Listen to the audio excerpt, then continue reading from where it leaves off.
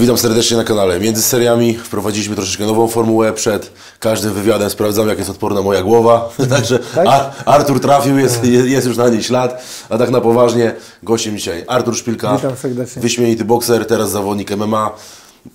Walczysz w Federacji KSW, także jedna z lepszych federacji w Europie. Moim zdaniem jedna z naj... No tak, tak jak mówisz, najlepsza. Jednak to, co robią, to jak się to wszystko prezentuje. Ja walczyłem na tych największych galach w boksie zawodowym i mam mniej więcej porównanie, jeśli chodzi o promocję, o to ile oni inwestują, a przede wszystkim cały anturaż całej gali, to wszystko opakowanie, bo to jest też najważniejsze, bo to nie tylko chodzi, żeby dostać sportowe widowisko, ale dzisiaj liczą się te Show, nie? poza kulisowe rzeczy i fajnie to wygląda, że oni tam naprawdę inwestują kupę siana. Ten narodowy to w ogóle chyba takie taka moim zdaniem taka fantazja każdego sportowca zawalczyć na, na takiej gali, prawda, prestiżowej, takiej wielkiej i uważam, że każda z tych potencjalnych walk, które tam będą od początku, od pierwszej, może być main eventem mniejszej lub większej gali, prawda, więc to jest dla mnie, no to jest dla mnie sztos. Do tego już mówiłem to kilkukrotnie, jak zaczynałem oglądać KSW, wychowałem się tak naprawdę, wiadomo, był Juras, Róża, wszyscy tam, e, jeszcze Kułak taki pamiętam, ale nikt nie wzbudził na mnie tyle zainteresowania, co Michał Materla i Mamet Kalidow. To byli zawodnicy wyróżniający się. Legendy. Z, to to, to oni są, ale wtedy, ja mówię, jak to się zaczynało, mówię, ło, jak fajnie byłoby ich kiedyś poznać. A teraz walczę na jednej gali z tymi kozakami, więc to jest dodatkowo mobilizujące. E, Do tego, wiesz, robisz coś całe życie i, i tak naprawdę nawet jednej trzeciej nie jesteś w stanie osiągnąć, e, nawet zawalczyć na mniejszych galach, a tutaj walczymy na narodowych. Wszyscy są mega zajarani, ludzie tym żyją. Mm, Walczę też przecież z zawodnikiem, który w tym sporcie spędził ponad 13 lat albo 13 lat który można już nazwać go pełnoprawnym zawodnikiem MMA, więc to jest też dodatkowe wyzwanie, ale też chęć udowodnienia. Więc bardzo No, słuchaj, no ale dowiedziałeś się od, od włodarzy federacji, że nazwisko Pudzianowski. Od razu wziąłeś, czy gdzieś szukałeś innych rywali bardziej Ja miałem, mieć, sportów uderzanych? ja miałem mieć debiut w ogóle z Mariuszem Pudzianowskim i ja się na to zgodziłem, wszystko to tamto, ale po pierwszych treningach MMA wiesz, no przyszedłem, wywracał mnie chłopciak mniejszy troszkę i ja wiadomo, wstawałem spod niego, ale wiesz, wywracał, nie, nie, zda, nie, wiesz, nie, nie wiedziałem jak ułożyć nogi. No ale po walce e, właśnie z Mamedem, gdzieś kurczę przekonałem się o tym, o czym czym myślałem, gdzie jak z nim sparowałem, ale wiadomo, to jest sparring, to jest jedno. Wy sparowaliście była- razem. tak, sparowaliśmy. I wiesz, to jest jedno, a walka to jest drugie. I, i faktycznie mm, Mariusz jest zawodnikiem startowym. Na sparingach luźniej, luźniej, a na walce daje z siebie wszystko. Więc e, po walce z Mamedem zadzwoniłem do Martina. Martin, ja go biorę teraz, nie? Od razu. No widzisz, wyszło, ale nie, nie, sorry, to było później, ja miałem walczyć z Wrzoskiem, potem była operacja, po tej operacji wydobrzałem, powstał ten pomysł Stadionu Narodowego, to wszystko, ja mówię, nic nie dzieje się bez przyczyny.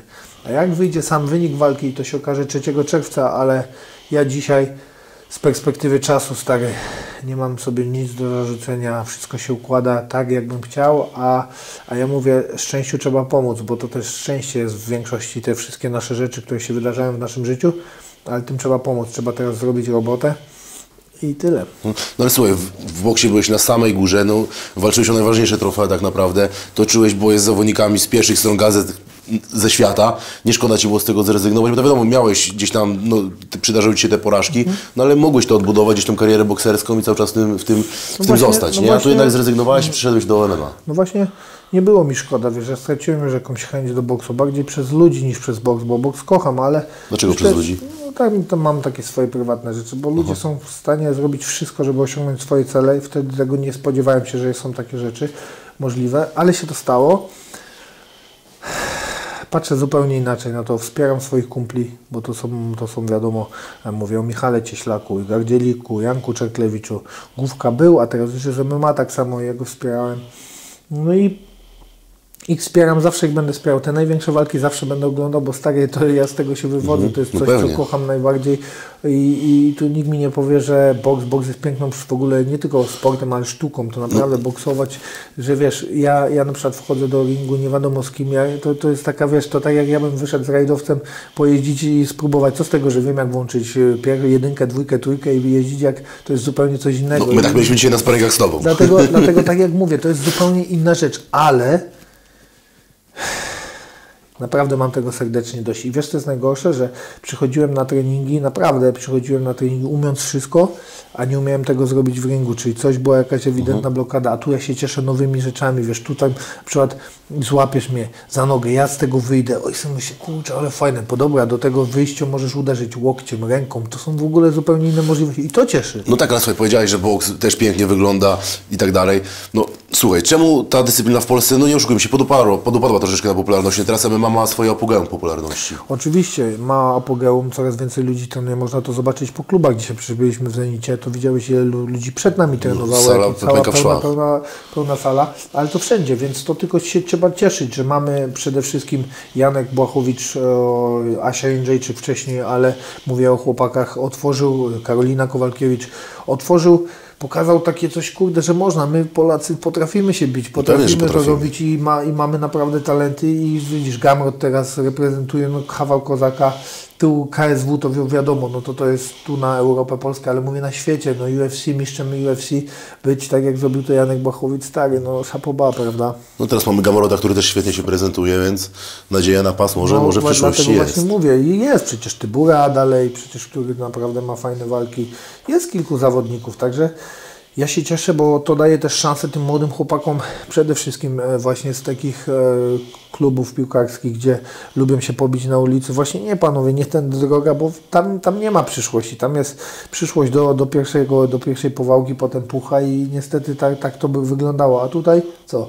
Tutaj każdy z tych chłopaków może zobaczyć, że jest inna droga i właśnie tacy zawodnicy, którzy stamtąd się wywodzą, mogą im przetrzeć te szlaki. Ja uważam, że to jest jak No, najbardziej. właśnie uprzedziłeś troszeczkę moje pytanie, no bo w tych freak fightach, ale nie tylko, no bo i w Gromdzie, w Otore pojawiają się właśnie y, zawodnicy z środowiska kibicowskiego. Jak Cię do tego odniesiesz? Twoim zdaniem to jest pozytywny? Ja uważam, że to jest pozytywne pod warunkiem, że, te chłopacy, że ci chłopacy zmienią swoje życie i pokażą, że można. To jest pozytywne. Jeżeli tych chłopacy dalej chcą tam być, no to to ciężko. No mówię, dzisiejsze czasy są jakie są i naprawdę nie ma tutaj honoru za dzisiaj w ogóle, nie ma też e, osób anonimowych. Po, po prostu gdzieś się zobaczą, nie? nagrywają, zobacz jak to dziś wygląda. Jakakolwiek awantura mniejsza, większa, każdy wyciąga telefony, nawet nie związany z tematu, go kręci, potem to wrzucają do internetu, więc to też takie, no nie na miejscu. Wiesz, wiele rzeczy nam się też zmieniło z czasem. E, Kiedyś coś, co byśmy zrobili bez wnieniu oka, dzisiaj patrzymy na to z zupełnie innym dystansem, więc uważam, że jeżeli chłopak, chłopak chce zmienić swoje życie, to to jest bardzo potrzebne, bo dzięki takim e, walkom może wypłynąć, prawda? Może zobaczyć go szersza grupa osób. Tylko jeszcze raz mówię, sporty walki to jest styl życia. To nie jest tylko i wyłącznie e, chuligańskie wejście, gdzie No tam tak, wchodzą. przepraszam, no, przerwę. To jest mój taki standardowy tekst na kanale, ale no wiesz, gdzieś te zasady chuligańskie też są przenoszone na konferencje do tego całego Nie, to show. mi się nie podoba, ale ja mówię o czymś innym. Mówię Ci o tym, że ci chuligani w większości mają tam paliwo na 40 sekund, a potem już jest kupa. I właśnie mówię, styl życia zmieniłby to. Już nie byłoby 40 sekund, tylko byłoby 2 minuty, najpierw potem 3 minuty, potem parę rund i to jest najważniejsze. Stary, my, my, ja nawet nie dyskutuję, jak walczyłem 12 rund, czy i pytam się, ile będziemy robić rund. Ja zawsze robię, ile kto ma ochotę, wiesz. I, bo to jest takie naturalne, no, musisz to robić. To jest, to jest e, lata przepracowane i to jest taka już wydolność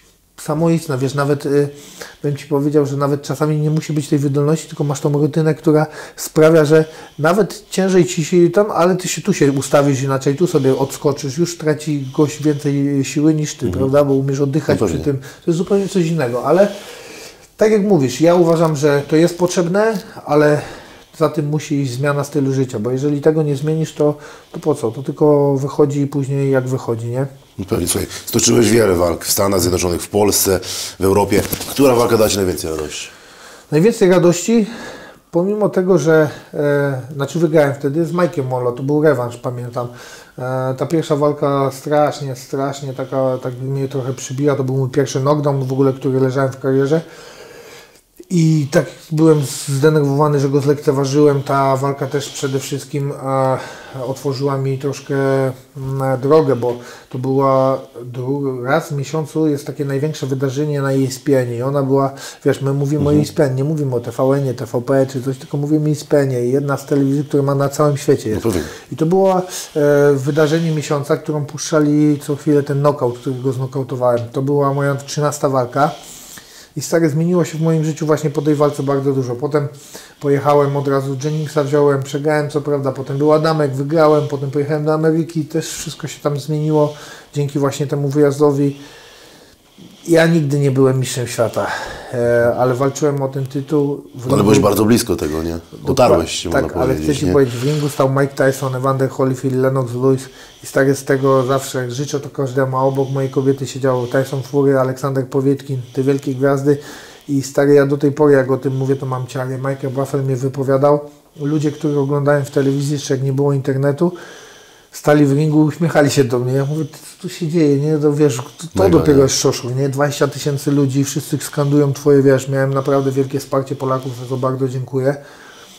A naprzeciwko mistrza świata, gościa, który nokautował wszystkich.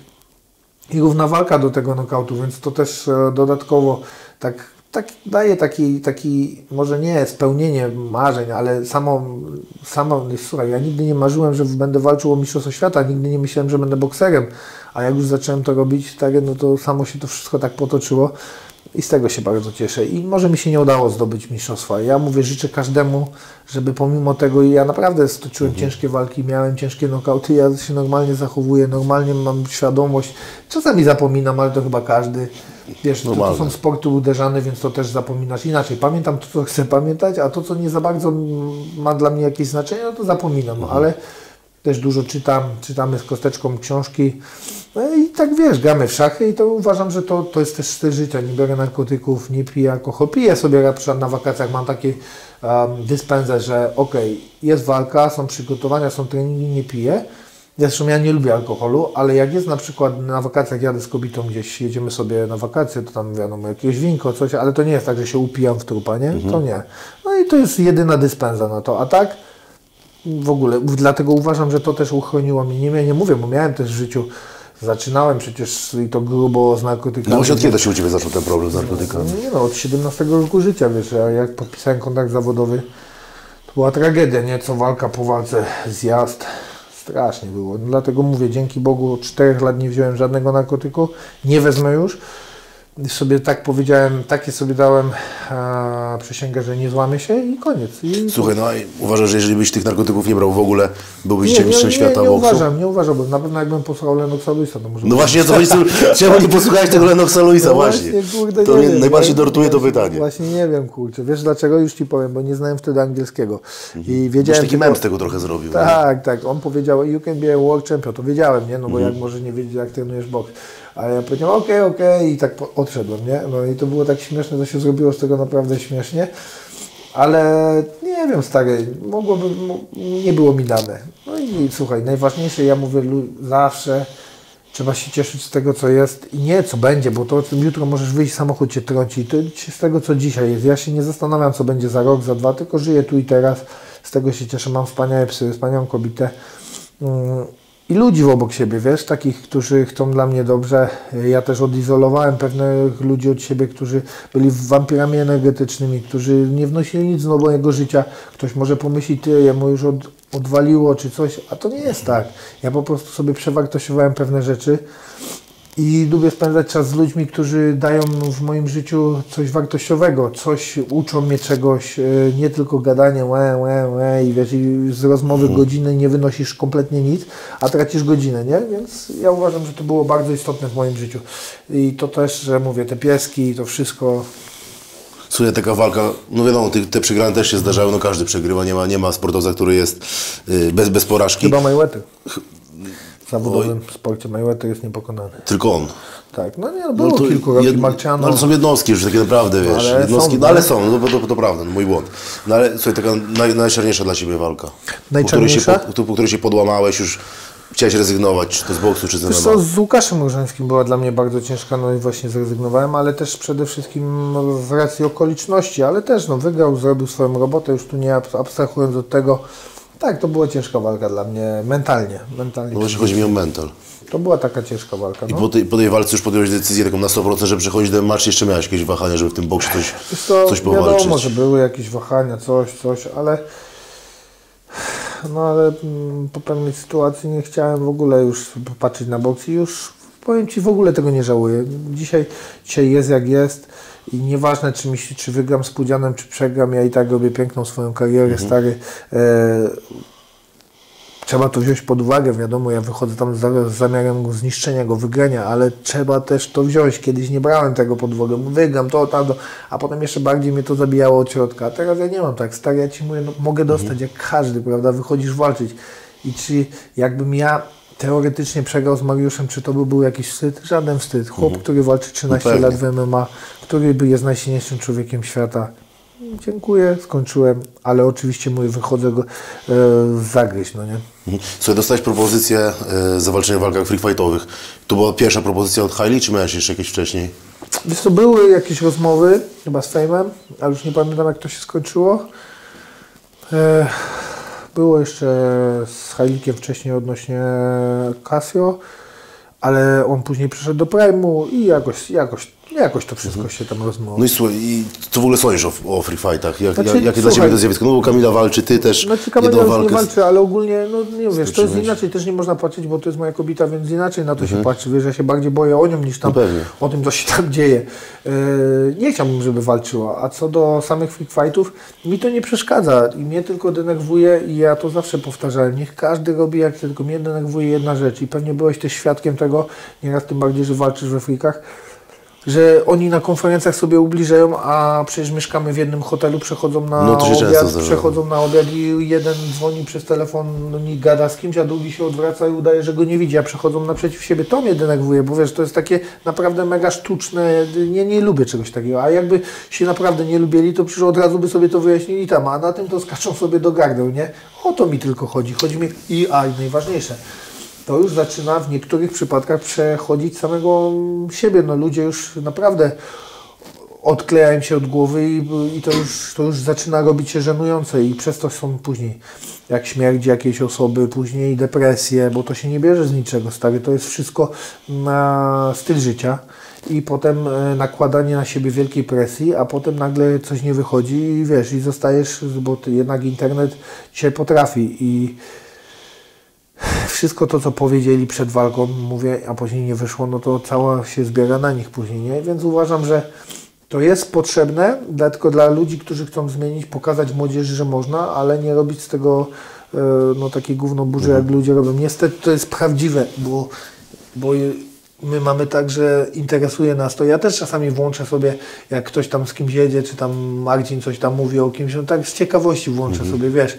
A Tylko Marcin trochę w inny sposób mi się wydaje. mi robi, się wydaje, że on to robi inteligentnie. No właśnie, to, samo nie chciałem powiedzieć. tak, on to taki jest chamskie w typowo, Tak, wiesz. on, on, on to robi. On ma granice on, jakieś. Tak, ale też i on to ja zauważyłem, on się w tym czuje jak ryba w wodzie, a niektórzy wiesz, przeginają. No wiesz, ale ja na przykład sobie włączam tylko dlatego, że wiem, że z kimś tam będzie zaraz śmiesznie, no i wiesz, włączasz, a, a tak naprawdę zobacz, są sportowcy, których nawet kurde nie wiem, jednej dziesiątej nie ma wyświetleń, na przykład jak on opowie coś, jakiś wywiad, nie? I to jest, to jest przykre. Tylko to też już nie możemy patrzeć, że o kurczę, ktoś ma oglądać sportowca. To, co ludzi interesuje, to oni generują wyświetlenia, to oni generują bilety. I chyba na tym się trzeba skupić. Mam nadzieję tylko, że te freak fighty nie przejdą na taką stronę, że ludzie, żeby tam zawalczyć, właśnie będą robić siebie takich idiotów. No ale zobacz, w którą stronę to też y, idzie, tak przynajmniej mi się wydaje, no może też nie jestem obiektywny, bo w tym, w tym świecie jestem, ale no ściągnęli Ciebie, ściągnęli Janikowskiego, No tak, ściągnęli Don Diego, y, teraz ja nie mówię o Fame Don Diego, ściągnęło. Ja nie mówię o Don Diego, o Tobie, o Labrydze, ja nie mówię o zawodnikach, e, e, sportowcach, ja mówię ogólnie o frikach, bo zapytałeś mnie o friki. Mówię o tych, gdzie się tam wyzywają, wiesz, Mhm. ja byłem świadkiem, ja byłem na tej konferencji, widziałem jak się wydzierali na siebie, a na, szedłem na śniadanie z kosteczką. No to razem byliśmy wtedy, Tak, ja, tak, to się mijaliśmy jeszcze, mną, pamiętaj ale ta ja, sytuacja. Ale oni wychodzili, nie będę już mówił imienami, wiem, kto. nazwiskami, wychodzili, jeden udawał przez telefon, ja mówię, ty kostkuś, patrz jakie to jest Oni jeszcze w idiotyczne. windzie razem jechali. Tak, ja mówię, patrz jakie to jest idiotyczne, a tam sobie skaczą do gardła, no to ja czegoś takiego nie kupuję, bo jak ty mnie obrazisz, to daję ci słowo, chociaż jestem sportowcem, licz się z tym, że dzisiaj zobaczymy, to jest konfrontacja, bo ja mówię obrazić, Mhm. i bezpodstawnie, to, to nie ma w ogóle gadania. I popatrzcie, pomimo tego, że jestem dorosły, gdzieś inaczej na wiele rzeczy patrzę, no ale też nie pozwolę sobie, żeby ktoś mnie obrażał w ten sposób, jak oni się tam obrażali, bo tam widzisz, słyszałeś co tam było, tak, wyzywanie na matkę, na to, tamto, ja, ja za głowę się łapałem i mówię, wiesz, a potem sobie idą jeden dzwoni przez telefon, a drugi patrzy po ścianach, Tak. jakby tam widział pająki. No ale ty też miałeś taką sytuację, no bo gdzieś z tenisem na początku nie mieliście żadnego konfliktu i tam miała być taka walka typowo, typowo sportowa. No nie było, no i jak wiesz dobrze, e, bo już nie chcę poruszać jego tematu. Wiem, dlatego też tak ten temat tu Dlatego tylko powiem, tylko. jak wiesz dobrze, przed walką było ustalone, bo on coś tam powiedział o kontuzji, ja mówię, Denis, żeby się nie okazało tak, że po walce będziesz zganiał na kontuzję jak przegrasz. Nie, oczywiście tu, to, to, tu, tam to jak przegram. No, w każdym wywiadzie mówię o kontuzji i już nie chcę tego powielać, wiesz, to dla No mnie... wiem, dlatego też nie, nie, nie pytałem o to Dla też. mnie to jest, wiesz, po prostu skreślony chłopak. No, on, on moim zdaniem prędzej czy później sam zobaczy, e, że, że to go wykończy wszystko to, bo to wiesz, internet, te, te sprawy, które się mówi, to jest jedno, a, a jednak ten ciężar, ciężar psychiczny, który jest na ludziach, to, to tak samo jest i nikt mi nie powie,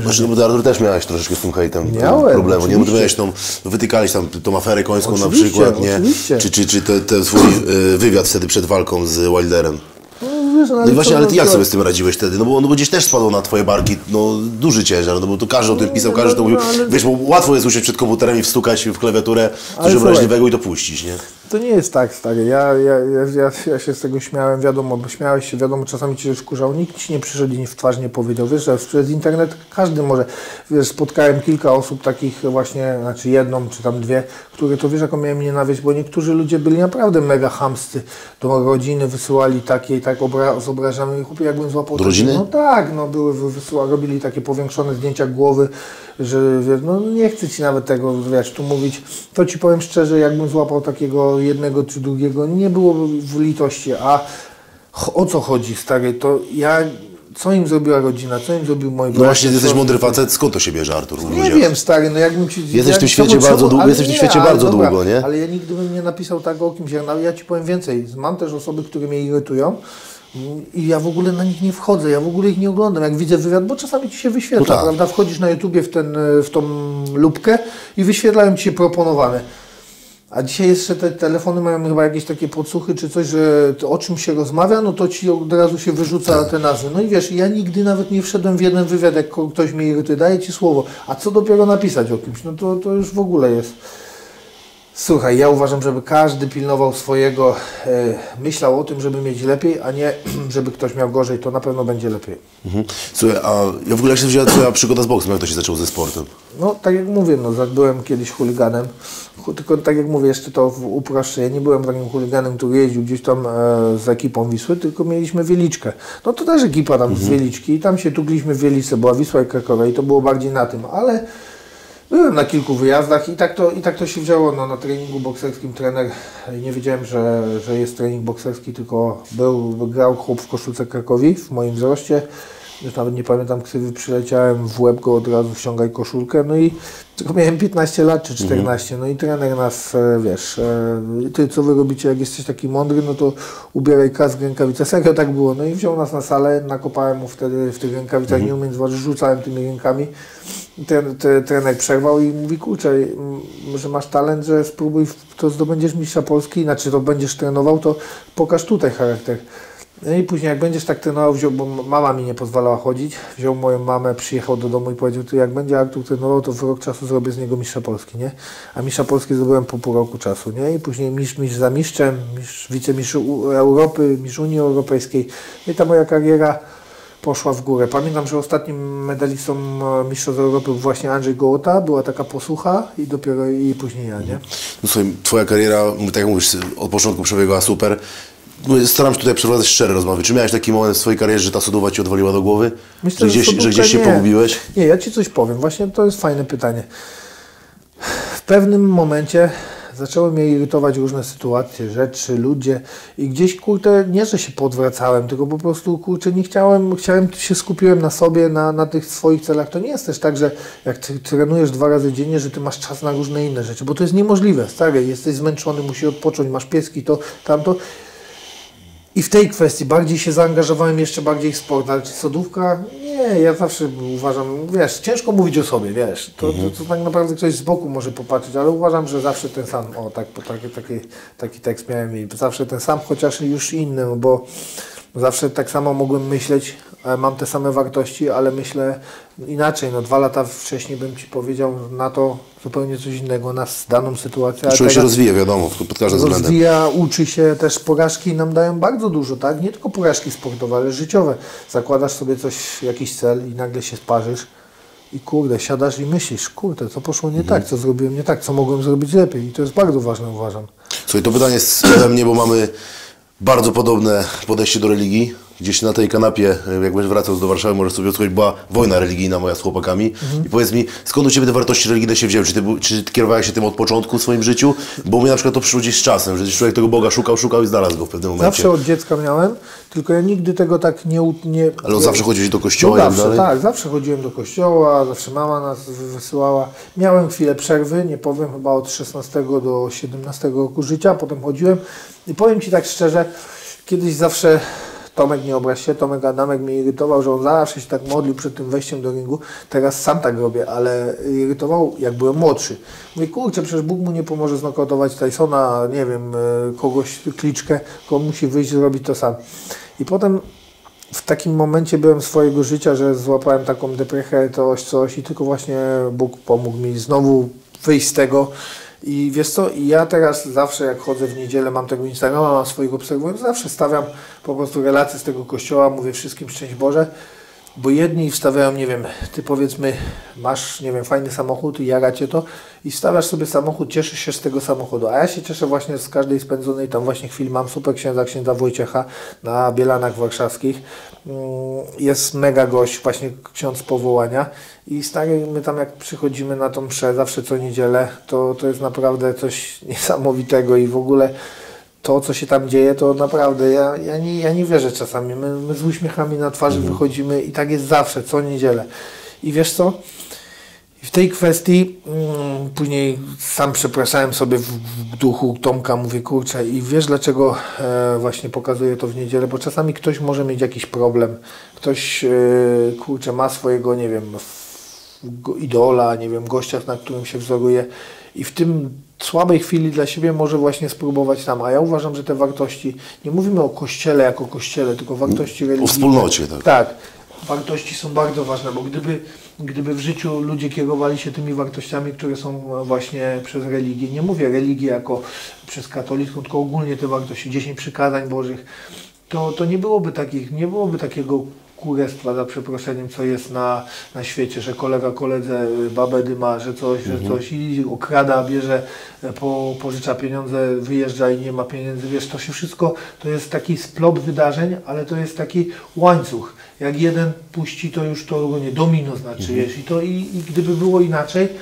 to na pewno nie byłoby tego, co jest teraz. I uważam, że to jest bardzo ważne, a, a mi naprawdę daje to wiele, wiele. No ale sam powiedziałeś, że miałeś taki okres, że gdzieś pogubiłeś się z tymi wartościami. Kiedy to było i dlaczego? Wiesz co, już nie pamiętam dokładnie. Było Wiesz, to to, że tak- tak dopytuję prywatnie, ale wiesz, to ktoś to ogląda, to też może mieć takie problemy. To, to, to, co To teraz było- powiemy, byłem młodszy. naprawdę może kogoś ukierunkować w życiu Byłem dalej, młodszy, stary, byłem młodszy i to było chyba 17 lat przed pój- pójściem do więzienia, a w więzieniu to znowu wróciło tak na grubo, tam wiesz, i zaczęli codziennie, ja zawsze, zresztą pamiętam odkąd, pamiętam babcia nauczyła mnie się modlić i codziennie przed, na nawet jak jestem pijany, stary, chociaż nie piję, ale... Nie tego tłumaczyć, no, ja robię to samo, żeby zawsze Zawsze wieczorem na Tak pacierz cały, wszystko, Ojcze nasz, zdrowaś Mario, e, Aniele Boży i to wszystkie... Ale masz tak, że jeśli się zdarzy zapomnieć, to masz takie na sercu, potem kurwa Nie, nie zapomniałem. A ja miałem tak, że Nie zapomniałem. Właśnie Ci mówię, że o dziwo to jest coś takiego, że nawet pamiętam po pijaku gdzieś, teraz sobie wprowadziłem, bo sam różaniec to nie jest takie proste,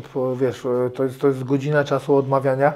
I zawsze w niedzielę też sobie wprowadziłem od jakiegoś czasu, to już nie, niedługo trwa, to z pół roku, że co niedzielę odmawiam różaniec w intencji, nie wiem, trenerów swoich, tak, ludzi w, w, w, w, obok mnie i stary to też, to jest naprawdę, to jest, a wiesz, my to jesteśmy tylko ludźmi, a takie właśnie siostry, nie siostry, gdzieś tam te różańce stary, to jest, to jest kozactwo, nie? Słuchaj, dlaczego ci ludzie twoim zdaniem teraz odwracają się do religii? Ten, bo ten świat troszeczkę, do, tak jak wiesz, Bardzo dobre pytanie. już, od, już odbiegają, wiesz. No, teraz rzadko spotykasz młodego człowieka, który chodzi do kościoła, mówi jawnie o tym, że się modli. Coraz mniej tego jest. No Dlaczego? wiesz co, to jest bardzo dobre pytanie. Ciężko mi powiedzieć, no na pewno e, też potknięcia w kościele, które są, które były, ale to nie jest tak, że to tylko się dzieje w kościele, wiesz. Ja nie chciałbym tu zganiać teraz na kościół, ale to jest ja, to, to jest, że tak było, że wiesz, podejrzewam, że te Wiesz, u nas bardzo mi się podoba, że Wojtek, właśnie mój ksiądz, który on zawsze o tym mówi. To nie jest tak, że on to kryje. Zawsze, mm, że Kościół się pogubił, że módlmy się za tych wszystkich, którzy się pogubili. On, I on tego nie kryje. I ta niestety pedofilia jest, była. Słuchaj, ale to jest wszędzie, w środowiskach lekarskich i tak Dokładnie, dalej. Tylko właśnie- mi się wydaje, że to też przez media jest troszeczkę jest napiętnowane z tym kościołem, no bo łatwo jest, tak jak masz z papieżem teraz, łatwo jest atakować kogoś, kto nie żyje, bo się nie da, bo nie da się no, a bronić. to jest na tak? przykład bardzo mnie irytuje ta sytuacja, tym bardziej, że Jan Paweł II był dla, ja byłem na dwóch czy trzech pielgrzymkach za mało lata, właśnie mama nas brała, a ja jak pamiętam jak jechał tym, w tym swoim takim, nie wiem, busiku, takim pamiętasz? Papa Taki- bus. Pa, tak, papa bus, ja, no łzy w oczach mieliśmy. Papa mobil. Tak, tak, no, no nie wiem, to było, to było, te, pamiętam te pielgrzymki na błoniach, całe błonie, ludzi tyle. Mhm. Stary, to ja, ja mówię, każdy, wiesz, dzisiaj jest w ogóle taki dziwny, No. dziwny świat. Przepraszam, że to zadam to pytanie, mówisz trochę za bardzo No. o religii, ale, ale ciekawe jakie masz podejście do tego. To nie uważasz, że papież Franciszek jednak jest troszeczkę za bardzo w tą lewą stronę i przez to może też troszeczkę się tak dzieje? Wiesz co, ja ci, dzieje? coś, ja ci coś powiem, bo on też mnie irytuje czasami, jak wypowiada się na pewne rzeczy, ale jeszcze raz Ci mówię, ja nie jestem, ani on nie jest zupą pomidorową, żeby nas wszyscy lubili. To są decyzje i wyłącznie tylko tych ludzi, to oni, wiesz, ciężko się przedstawić w, w roli takiego człowieka, bo to on jednak odpowiada za wszystkich wierzących, to on jest tą ikoną, tak, prawda, jak papież, tylko jakbyś wiedział, jak słyszałeś o, bo mnie na przykład bardzo zdziwiły jego słowa, jeśli chodzi o wojnę z Ro- Rosja, Ukraina. On w ogóle praktycznie nie wypowiadał się na temat Rosji, w ogóle uchylał zdanie. Tylko teraz pytanie, czy mówi tak dlatego, bo nie wiem, znasz przepowiednię fatimską? No i właśnie tam jest właśnie o tej Rosji i że wszystko zacznie się od Rosji, módlcie się za Rosję. I zastanawiam się, czy on właśnie dlatego nie mówi o tym, bo, bo tak jest. Nie wiem, stary, ciężko mi powiedzieć, tylko jeszcze raz mówię, każdy niech się postawi w sytuacji tego. Wiesz, też z drugiej strony to, że Kościół się wtrącał w politykę, też wiemy to z historii, nie zawsze to się kończyło dobrze. No, No niestety oczywiście, no. Są też czarne, czarne y, karty w historii. Ile zginęło ludzi za Też, no, jak za- wiemy, po, po 1945 roku SS-mani byli prze, przetransportowywani do, do Argentyny, też dzięki trochę Watykanowi, nie? więc mówię, nie zawsze to było takie czyste klarowne, tylko tutaj zawsze moja babcia fajnie mówiła, do kościoła się nie chodzi dla księdza. To samo jest z No, oczy- oczy- papieżem oczy- i to oczywiście, samo jest... że tak, oczywiście, że tak, tylko jeszcze raz mówię, te wartości Twojej babci, czy tam, bo mówisz, że babcia mówiła, mojej już nie żyjącej prababci, te, te rzeczy się zmieniają. Niestety jest tak, że, że coraz mniej ludzi właśnie w to wierzy i będzie jeszcze gorzej. Tak mi się wydaje, no i Stary, ja, ja dziękuję Bogu naprawdę, że się wychowałem, jestem 8-9 rocznik, że wychowałem się w tych czasach, gdzie te zasady naprawdę jeszcze były, to były takie ostatki, ja mówię dinozaury, gdzie to jeszcze naprawdę miało ręce i nogi, e, gdzie ten właśnie Jan Paweł II, stary, to dla mnie, ja do tej pory mam ciary, jak sobie przypominam, nasz Ojciec Święty papieżem, tu, wiesz, jak on przyjeżdżał, te kremówki, zawsze o tych kremówkach opowiadał. No tak, w swoje strony, no tak, No tak, Wadowice, tak. no Znaczy tam... ja tam koło, tak, ja tam, ja siedziałem w Wadowicach, jakby to. No, ale tam kremówki raczej nie Tak, miałeś. tam nie miałem się ubrać.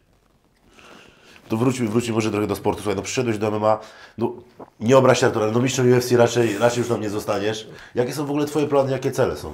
Wiesz co, mistrzem UFC nie zostanę, no bo nie jestem w UFC, ale wiesz co, powiem Ci tak Ale liczysz na to, że będziesz? Nie, nie. Nie liczę w ogóle na nic. No, ja Ci mówię, już przestałem sobie nakładać na głowę presję. Liczę na to, że dam świetne walki w MMA, a na pewno każdy, kto mnie zna, to wie, że łatwo nie będzie, tak jak nikomu, bo jak ja się do, dopadnę do kogoś, to jest koniec, nie? Ale, ale ja muszę się nauczyć, ja się cały czas, co to jest rok czasu? Nie wiem, ile ćwiczysz MMA, ale... ale lata, no. Dwa lata, to sam wiesz, co było na początku, tak? Nagle, kurde, co się dzieje, jak to się dzieje. I ty miałem tak samo, tylko że u mnie problem polegał na czymś innym. Jeszcze. Ja nie mogłem się uczyć, bo miałem, op- ko- ko- k- powiedz mi, kontuzję pleców i ja wszystkie treningi robiłem na diklofenaku. Dopiero pierwsze moje przygotowania, gdzie ja naprawdę słowo honoru nie, nie wziąłem ani jednego przeciwbólowego, przeciwzapalnego leku po operacji pleców. Więc ja teraz dopiero uczę się tego, co powinienem się uczyć e, właśnie na początku swojej przygody z MMA. No i wiesz, i ja wiem, wiem, że jeszcze jestem młody, chce mi się, a to jest najważniejsze. I stary tak naprawdę taki Mamet Kalidow, taki Mariusz Pudzianowski, którzy zawodnicy, którzy mają już chyba 44 ma Mamet, Pudzian ma 46, są tylko i wyłącznie po, przykładem dla tych ludzi, że można, tylko trzeba chcieć. My mamy, ile masz lat? Nie zgadłeś w życiu. No ile? No nie zgadłeś, No nie, strzel. 30? No właśnie, jak każdy. 27, 6. O, o kurczę, no to, to 20. Ja jestem to, 96 to, to rok. młody chłopak, ja No ale wie, zajechane życie już. A ja mam 34 i wiesz, i to jest młody, to jest wciąż młody chłopak, prawda? I popatrzcie, tacy właśnie takie ikony sportu, pokazują właśnie, że można. Janek też przecież, Janek Błachowicz zdobył mistrza UFC w wieku 37 lat. Zaczął od porażek też, nie? No tak, już go chcieli wyrzucić. Dlatego Tak. słuchajcie, to jest tylko pokazuje, że wszystko jest w naszych głowach, czy tego chcemy, czy nie. I jeżeli tego nie będziesz chciał, to się nie łudź. Tylko mówię, to jest styl życia we wszystkim. I stary, przepraszam, nie nakładam sobie na, na banie, że ja coś muszę. Nie, ja się tu fajnie bawię. Przy tym zarabiam pieniądze, czyli za to, co kocham robić, bo nie ktoś mi każe. I cały czas się czegoś uczę. Nie tylko w sportach walki, ale w życiu. I to jest fajne. Muszę Ci to zadać pytanie, wiem, że nie lubisz na ten temat gadać, ale no nie wybaczą. Zobaczymy Cię jeszcze w High League'u? Nie mówię nie, ale raczej nie. Raczej nie chcesz już. Nie, nie, nie chcę w ogóle po prostu żadnych frikach walczyć. Sparzyłeś się tym, tym, tym Nie, wszystkim. nie podoba mi się sytuacja inaczej, żeby to jeszcze raz chcę zaznaczyć. Federacja High League, ludzie, którzy tam pracują, to są kozaki, to są kozaki. Ja pozdrawiam e, wszystkich, którzy tam pracowali. To było dla mnie jedno z fajniejszych wspomnień, jeśli chodzi o federację. To są ludzie, którzy naprawdę to, co obiecują, tak jest, tam nie ma w ogóle gadania, wszystko jest petarda, tylko po prostu nie podoba mi się samo, samo to, jakby to była walka ze sportowcem jakimś, teoretycznie, taki wiesz, to, to, to tak może, ale nie, nie podoba mi się, że jednak jesteśmy też e, w jednym fightcardzie właśnie e, z tymi innymi zawodnikami, no ale zobaczymy, co życie przyniesie. Nie mówię nie, ale na razie na pewno nie. Masz jakiegoś tego swojego wymarzonego rywala, czy po prostu bierzesz każdą walkę? Na razie jest mój ma Mariusz i to jest, wiesz, i to jest walka, ja nie wychodzę już poza szereg, bo tak jak mówiłem, myśl o kogu do niedzieli, a w sobotę łeb ucięli, a niewątpliwie e, ta walka będzie dla mnie ciężka, dlatego, dlatego tylko i wyłącznie jest Mariusz, a wiesz co, ja nie myślę o tym, no kto będzie, to tak wiesz, Federacja KSW e, jest naprawdę, no tak samo kozacko robi wszystko, te eventy swoje, wszystko robią, e, wkładają w to 100% siebie i to też cieszy, że oni naprawdę wiedzą na czym polega biznes i, i z tego się też cieszę, że jestem w tej federacji sportowej, w największej federacji u nas. E, Coś się skończyło, zaczyna się coś nowego i mówię, nieważne jak się potoczy walka, chociaż wierzę głęboko, że wygram, tak dalej życie płynie i z tego i tak się trzeba nastawiać, bo ja kiedyś jak przegrywałem w boksie, to załamywał się cały świat. Czułem się tak, jak, jak wyglądała moja ostatnia walka. Jak wygrywałem, emanowałem super ja przegrywałem, zamykałem się w sobie narkotyki, mówię te pierwsze, tak? Stary, to było takie błędne koło, dlatego dzisiaj się cieszę, że jestem ponad tym. Od 4 lat nawet przegrałem, nie wziąłem narkotyków, nic i stary, to się cieszę. Ja już powiedziałem, tego nie wezmę już nigdy w życiu. Kokaina zniszczyłaby mi w pewnym momencie życie, nie? I dzięki Wiesz, temu... to kto by pomyślał, że w sporcie takie rzeczy się zdarzają? Dużo osób myśli, że sportowiec to jest dieta, dieta, tutaj jednak... No nie, no, no nie do końca tak chyba, wiesz, każdy sportowiec... Znaczy, no ja wiem, no bo też w tym siedzę gdzieś, ale każdy ludzie tak myślą. No, ludzie myślą, ale to wiesz, to właśnie, ja uważam, że tacy ludzie jak sport, gdzie, a sporty walki to już w szczególności są narażeni na jeszcze bardziej na krytykę, na, na, to są na, wiesz, jak coś zrobisz nie tak, to wszyscy po tobie jadą, to też poradź sobie z tym wszystkim. Stary, to się tylko wydaje, bo to ciebie nie dotyczy. Mówię y, ciebie na zasadzie Ja zwykłego rozumiem. kibica.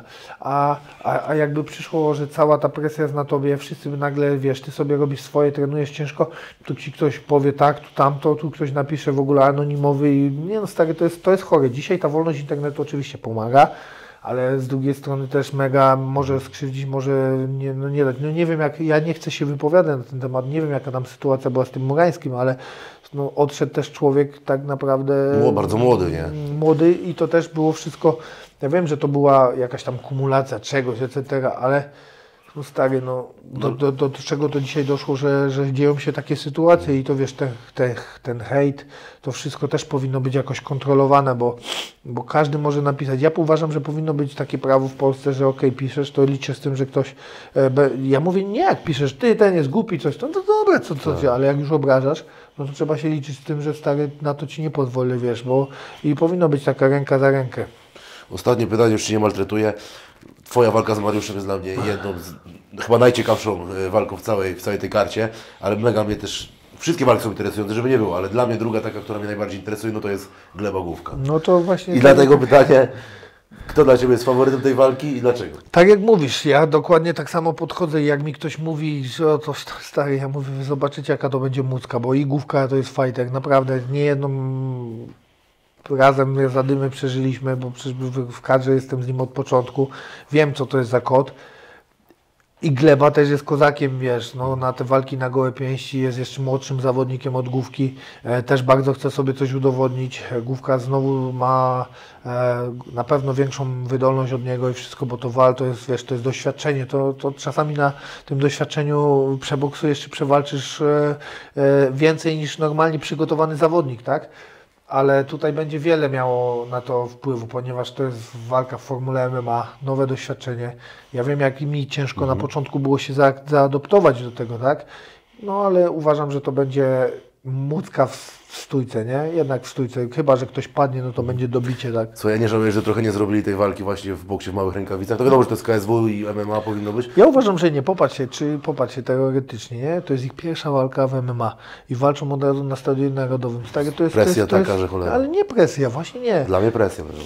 Słuchaj, presja, bo jesteś młodszy, nie? Nawet nie wiedziałem, że masz tak mało lat. Jesteś młodszy, a oni już są, znaczy Gleba jest chyba młodszy, bo ma 26 czy 27, ale Starszy jestem dwa lata. no to, no to widzisz, no to więcej. No ale Główka ma już 37, 36, no o dwa lata starszy ode mnie, więc to już wiesz, ta presja to już mi się wydaje nie ma. To wiadomo jest ciśnienie oczekiwania względem samego siebie, ale ale ja się cieszę, że oni otwierają tą kartę i ja uważam, że to będzie mucka i naprawdę nie zamykać oczu, bo jeden i drugi potrafi przyfanzolić. I teraz pytanie, czy to się rozegra w MMA pełnym na zasadzie, że ktoś kogoś obali, czy będzie kopanie. Stary, to jest właśnie ekscytujące, kiedy spotyka się dwóch strikerów, jak sama nazwa wskazuje, konfrontacja sztuk walki. To jest stary piękne, bo ja, ja na przykład naprawdę czekam na tą walkę i bardzo żałuję, że nie będę mógł główki kibicować prosto spod tego, bo sam będę w szatni siedział, ale naprawdę uważam, że to będzie naprawdę grube otwarcie. No dla mnie jest wasza walka z Mariuszem mega ciężka, bo ja też, no, mam nadzieję, że się nie obrazisz, no, zanim y, tam trener spytał się mnie, czy, czy zrobimy te sparingi, no to ja zadzwonię do Mariusza i się zapytałem, czy nie ma nic przeciwko. Tylko, żebyś no, bo... mu nic nie gadał. Nie, nie, nie, nie, nie. Ja zapytałem, rozmawiałem z Mariuszem, Mariusz mówi, nie, no okej, ja rozumiem. Baw się młody, no ale no jak już jesteśmy po sparingu samo z Mamedem, no to ja już mam gębę zamkniętą, nigdzie nie dzwonię. No ja to, ja to zawsze Ale, uważam. ale no, dla mnie też ciężka, dla mnie to jest mega ciężka walka do oglądania, no bo wiadomo, Mariusza znam dużo dłużej niż Ciebie, ale no teraz przepracowaliśmy jak- jakieś rundy, więc już wiesz, już mniej więcej, no, No tak. no, z, no z tymi osobami, z którymi pracujesz na co dzień, no to gdzieś tam... No tak, jest jakaś wiesz, taka więź pracy, mniejsza, tak, no. mi tego nie musisz mówić, to ja tak samo jak... Nawet ja tej walki, tak jak nie oglądałem walki Mamet y, później, tylko oglądałem z powtórek, tak samo i Waszej walki nie będę oglądał. Z Mariusza nie odbieram telefonów. Życzę Wam obydwu powodzenia i widzimy się na Narodowym. Uważam, że to będzie mega walka, cała ta fight card, jeszcze raz powtarzam, to mogłaby, każda z tych potencjalnych Tak. walk mogłaby być main eventem mniejszej lub większej gali i wiesz, ja jestem szczęśliwy, że, że z Mariuszem walczę, to jest kawał, to jest tytan pracy, widziałem go wielokrotnie na treningach, jest to silny chłop, no ale mówię, ale walka to walka. Walka to walka. Powodzenia Artur, dziękuję Ci za możliwość rozmowy. Dzięki jeszcze raz. Dziękuję i pozdrawiam.